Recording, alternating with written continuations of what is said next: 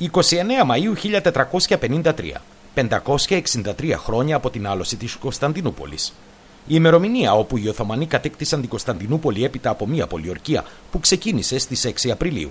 Τις παραμονές της άλωσης, η Βυζαντινή Αυτοκρατορία δεν θύμιζε σε τίποτα το ένδοξο παρελθόν της. Ήταν περιορισμένη, κυρίως στην περιοχή γύρω από την Κωνσταντινούπολη και σε κάποιες σκόρπιες περιοχές όπως το δεσποτάτο του Μιστρά, οι θρησκευτικές έρηδες, οι εμφυλίε διαμάχες, οι σταυροφορίες, η επικράτηση του βεοθαρχισμού και η εμφάνιση πολλών και επικίνδυνων εχθρών στα σύνορά της είχαν καταστήσει την πάλε ποτέ αυτοκρατορία ένα φάντασμα του ένδοξου παρελθόντος.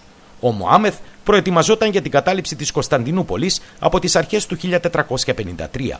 Με έδρα την Αδριανούπολη, συγκρότησε στρατό 150.000 ανδρών και ναυτικό 400 πλοίων. Ξεχώριζε το πυροβολικό του, που ήταν ό,τι πιο σύγχρονο για εκείνη την εποχή και ιδιαίτερα το τεράστιο πολιορκητικό κανόνι που είχαν φτιάξει οι Σάξονε τεχνίτες. Στι 7 Απριλίου ο Σουλτάνος έστησε τη σκηνή του μπροστά από την πύλη του Αγίου Ρωμανού και κήρυξε επίσημα την πολιορκία στην Κωνσταντινούπολη.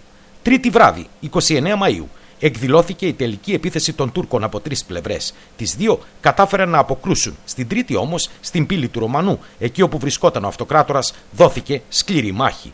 Επί δύο ώρες οι Οθωμανοί έκαναν επίθεση με στρατεύματα δεύτερης διαλογής για να εξαντλήσουν τους αμυνόμενους. Όταν έγινε αυτό, ανέλαβαν οι Γενίτσαροι, οι επίλεκτοι στρατιώτες. Μάλιστα σε εκείνη τη μάχη τραυματίστηκε ο γενουάτη υπερασπιστής της πύλης Ιουστινιάνη, ο οποίος αποχώρησε από τη μάχη.